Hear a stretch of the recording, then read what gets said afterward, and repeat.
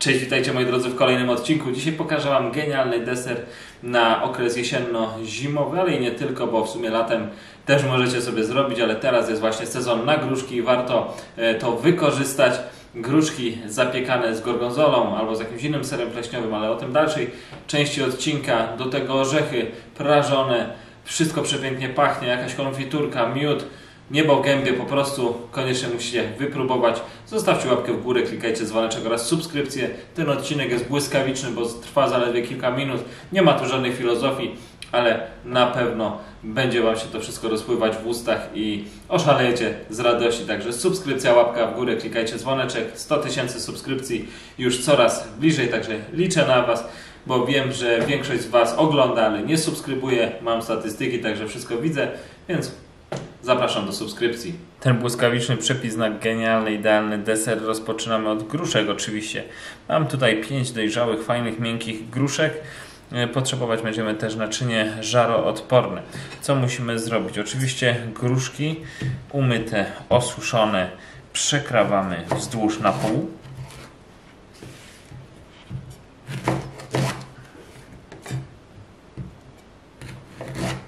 I teraz wydrążamy gniazda nasienne. Można to zrobić za pomocą łyżeczki, tak jak widzicie teraz, a można zrobić to za pomocą łyżeczki do lodów. Robimy tak ze wszystkimi połówkami i układamy w naczyniu żaroodpornym. Gruszki, moi drodzy, mamy gotowe. Nie zmieściły mi się tutaj wszystkie, tak więc będzie ich mniej. Różki ułożone tak, żeby zmieściło się ich jak najwięcej. I teraz w te dziurki, tutaj powstały, będziemy wkładać ser. Ser pleśniowy z niebieską pleśnią, może być też każdy inny. Może być, gongo, może być gorgonzola. Fajnie z gruszkami ona się komponuje.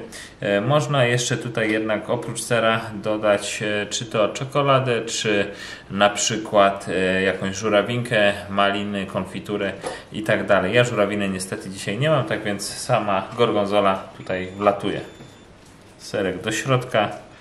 Pamiętajcie, że gruszka zawsze z takim serkiem jest to idealne połączenie. Gruszka podkręca fajnie smak sera i na odwrót. Po takim kawałeczku tutaj do środka trafia. Gruszki lecą na bok. Następnie orzechy. Są tu nerkowce, orzechy laskowe. Można też użyć orzechów włoskich siekamy na drobniejsze kawałki i posypujemy gruszki właśnie orzechami. Zanim jednak posypiemy gruszki orzechami, skrapiamy dosyć obficie miodem nasze owoce z serem. Miodem oczywiście naturalnym.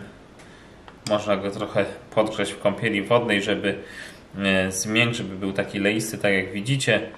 Spójrzcie, jak to pięknie teraz wygląda. No właśnie, myślę, że tyle wystarczy. I teraz lecimy z orzechami. One nam się pięknie podprażą w piekarniku. Zrobią się jeszcze bardziej chrupkie, jeszcze bardziej pachnące. Jest to idealny jesienny, moi drodzy, deser.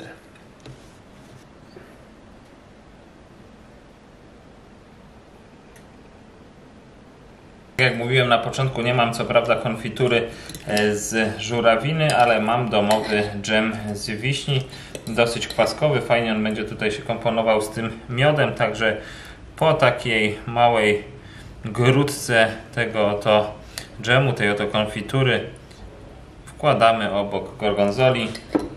Tak dla przełamania, tak to wygląda. Zobaczcie, jak zaraz wszystko nam się ożywiło. Do tego położyłem na rukoli to wszystko. Rukola z gruszką też wspaniale się komponuje. A troszkę zieleniny też można podjeść. Także zobaczcie, tak to wygląda. I zobaczcie, najlepszy w wykonaniu jesiennym deser, szybki, bo trwało ile to wszystko? Parę minut dosłownie, film nawet jest bardzo krótki, także e, zostawcie łapkę w górę, klikajcie dzwoneczek oraz subskrypcję, obejrzyjcie go od początku do końca, żeby jak najwięcej ludzi go zobaczyło. Mam nadzieję, że takie szybkie przepisy też Wam się podobają. Jeżeli lubicie jeszcze bardziej na słodko, można skropić rozpuszczoną czekoladą i się zajadać w zimowo-jesienne wieczory, czy tam jesienno-zimowe.